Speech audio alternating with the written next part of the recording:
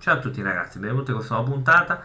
Anche oggi andiamo con un video per quanto riguarda questo film che vi spiegherò dopo. Per tutto come sempre è una rubrica dove non vuole fare virtuosismi tecnici, è tutto soggettivo, si può essere smentiti e bla bla bla. Quindi non, non è affatto una recensione, vi dirò solo il mio punto di vista sui film che vedo e non vedo, quindi poi dipende e spero che vi possa piacere. Uh, questo film in realtà è del 2005 di produzione spagnola. La Spagna ha una buona tradizione secondo me dal punto di vista dei film. Abbiamo Rec che credo che sono di produzione spagnola, ma penso proprio di sì, eh, che sono dei ottimi film. Eh. A parte il terzo che forse è un po' meno bello, ma è De Gustibus, cioè che è piaciuto. A me personalmente il 3 non mi è proprio piaciuto tanto, però gli altri sono veramente molto buoni.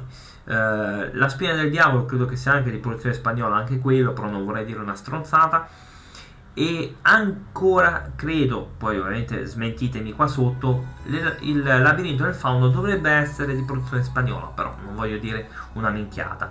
E, ehm, ovviamente cito anche Tesis, che è un altro buonissimo film, secondo me, di produzione spagnola. Quindi la Spagna ha buone tradizioni spagnole, ha buone tradizioni dal punto di vista mh, mm, proprio dei film, cioè fa delle cose buone. E poi ci sono questi film che non, che non capisci veramente perché con la foto davanti con lo spirito che sembra uno dello zio di Casper, sembra, sembra Puzza o quell'altro lì, che, o Ciccia, non, non mi ricordo.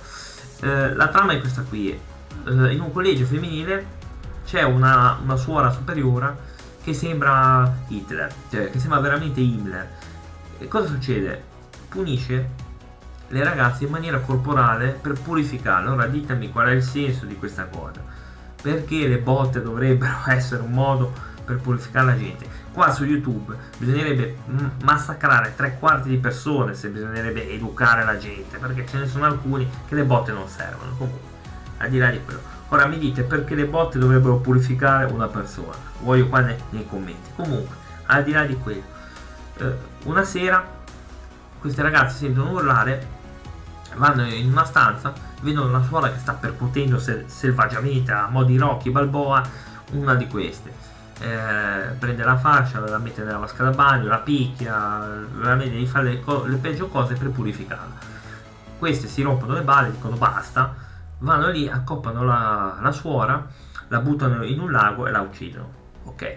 La ragazza si scopre la realtà che era rimasta incinta del sacerdote.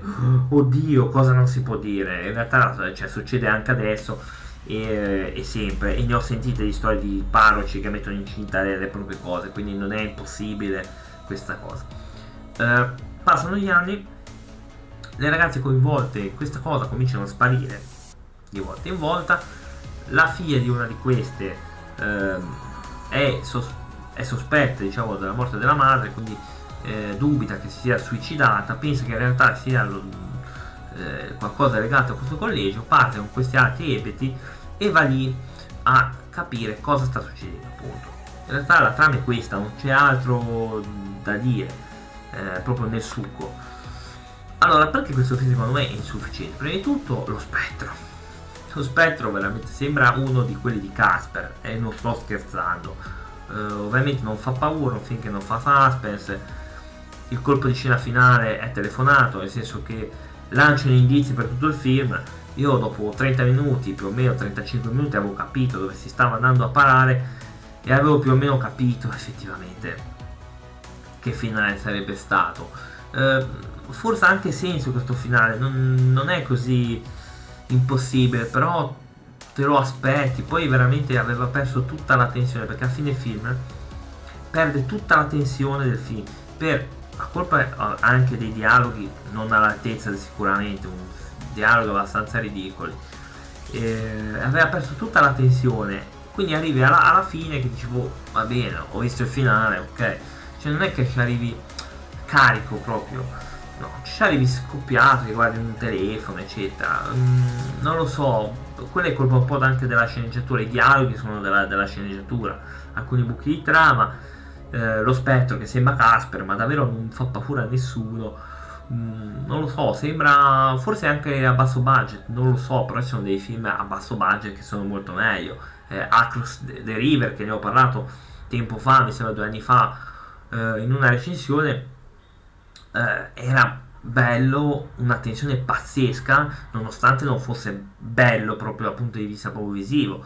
Perché? Perché a quel povero Cristo danno, i soldi non glieli danno, eh, gli danno budget zero, eh, ma a Cross the River è meglio di questo, perché lì crea veramente una tensione eh, nell'ambiente circostante che veramente fa paura. Cioè a Cross the River funziona per le musiche, per le ambientazioni che fanno spavento, veramente. veramente. Però siccome non gli davano niente, non è che ha fatto un gran film, è sufficiente ovviamente, però con un piccolo budget avrebbe fatto un, be- un bellissimo film. Eh, mi sembra eh, Lorenzetti, no? Lorenzini, mi sembra che si chiama, ora a memoria non mi ricordo. Questo invece è un film che veramente ti sperpera tutta la tensione già quasi a metà film. È un peccato che poteva essere un'idea interessante. A questo punto devo vedere per forza quell'altro, quello di, di, di The Conjuring, lo devo vedere per forza. Secondo me sarà un film terribile. Comunque, al di là di questo sembra un film del sabato sera di quelli che davano su Rai 2, perché quelli che davano in, in seconda serata, horror, marci, cioè marci nel, nel senso brutti, eh, non, peraltro che, che, non facevano paura a nessuno e che non si li vedeva nessuno. Uh, non mi ha divertito, non, non mi ha spaventato. Peccato che il regista, secondo me, la tecnica ce l'ha, perché comunque non è che è, è girato male, perché poi in realtà si pensa che in questi film il problema sia la regia ma spesso non è tanto colpa della regia, è colpa della sceneggiatura, è colpa, eh, è colpa di altro in realtà, anche degli attori cani, ovviamente non c'è un approfondimento psicologico, cioè forse ce l'ha giusto la ragazza, ma ovviamente come sempre, sempre così. E quindi, cioè, peccato perché mi sembra che questo alla mano ce l'abbia anche, credo che abbia fatto solo questo film, perché lui credo che sia più che altro un tecnico, forse un era un direttore della fotografia, non mi ricordo, mi sembra che l'avevo letto a memoria, ma ora mi sfugge.